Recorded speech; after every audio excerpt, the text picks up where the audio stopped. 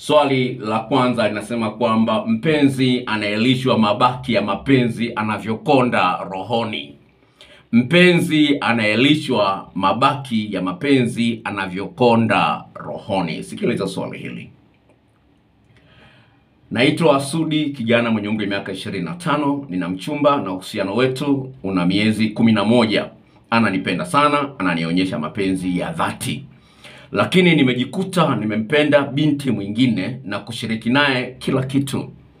Nimeshajaribu kumwacha ili nibakie na yule mchumba ambaye kiukweli nina malengo naye, kwani ni dhahiri ananipenda sana. Nahitaji msaada wako dokta, nisaidie, nifanyeje niachane na huyu binti wa pili, kwani amenivutia sana. Sawa, naomba unisikilize. Sawa, naomba unisikilize. Sawa, nikamuuliza swali, je, huyu binti wa pili ana uzuri mtamu wa kumzidi yule wa kwanza mchumba wako kwenye mabano? Akajibu, Dokta, kwa uzuri anao kumzidi mchumba wangu, lakini mwenye mapenzi ya dhati ni yule wa mwanzo, japo ni mnene kidogo kuliko huyu wa pili. Nikamuuliza swali, je, kwa uchangamfu nani kamzidi mwenzie? Yeye akajibu, sijaweza kulinganisha uchangamfu wao, lakini naona wote ni wachangamfu. Unaweza kuona naona asema sijaweza kulinganisha, lakini nasema naona wote ni wachangamfu. Yani hicho sio kigezo. Sawa, sawa, sawa. Nikamuuliza swali, sawa, nikamuuliza sisi, je, kwenye seksi au tendo la ndoa nani ana utundu mwingi mtamu zaidi? Yeye akajibu, huyu wa pili ana ufundi mwingi na ni mtundu sana, lakini mara nyingine ni mbishi katika kunipa nafasi ya kufanya naye tendo la ndoa. Mbi mbishi. Nikamuuliza swali, kwa kuwa ni dhahiri kwamba unampenda sana yule wa kwanza, utaumia kumpoteza huyo. Uh, tengeneza ubaya wa ubishi wa huyu wa pili ili utumie kama kigezo cha kuachana naye. Anapenda dudu kubwa kuliko Uh, sorry, uh, sawa, ni sehemu nyingine ya chati yangu hapa.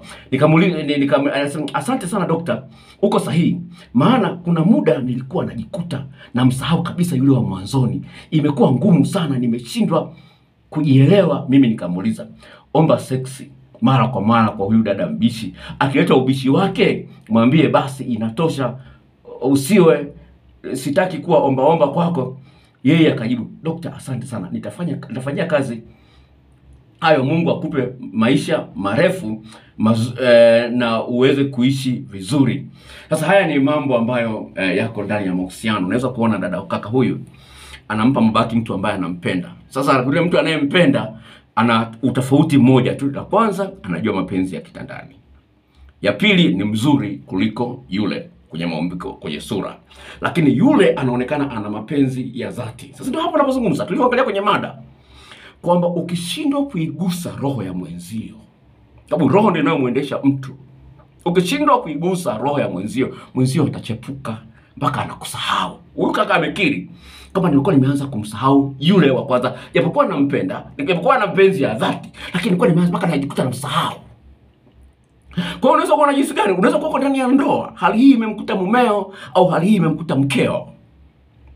Sasa ninachokwambia ni hivi, sawa, nimesema kwamba kwenye kichwa cha habari cha swali, mpenzi anayelishwa mabaki.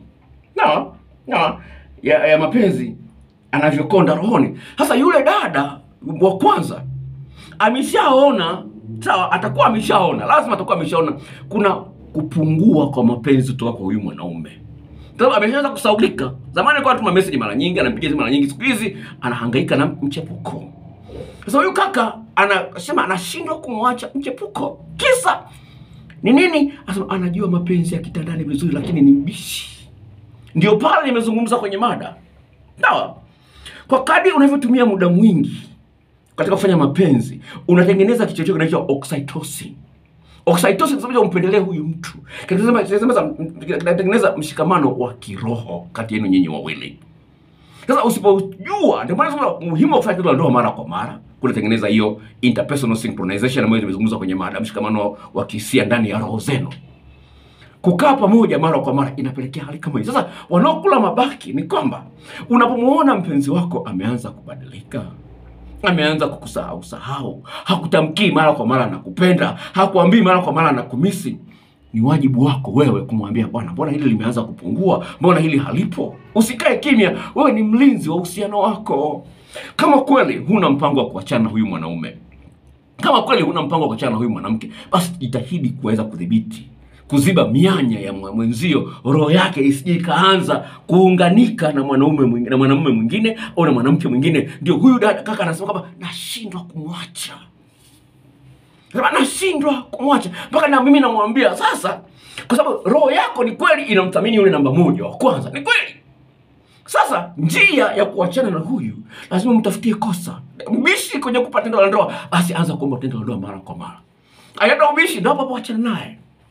Lingine ambalo unaweza kufanya ni kwamba unapata kumwacha mtu, orodhesha mabaya yake, alafu unayaweka waandika kabisa, kama ni kwenye friji weka hapo, unaangalia vision board.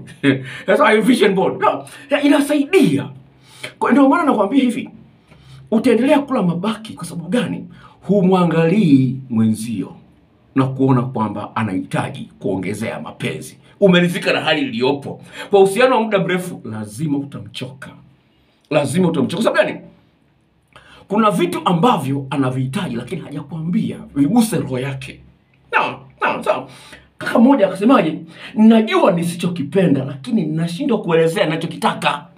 Unasikia? Unaona? Asema hivi, najua ninachokitaka kutoka kwa mke wangu, lakini nashindwa kuelezea nimwelezeje mke wangu ili anipatie hichi.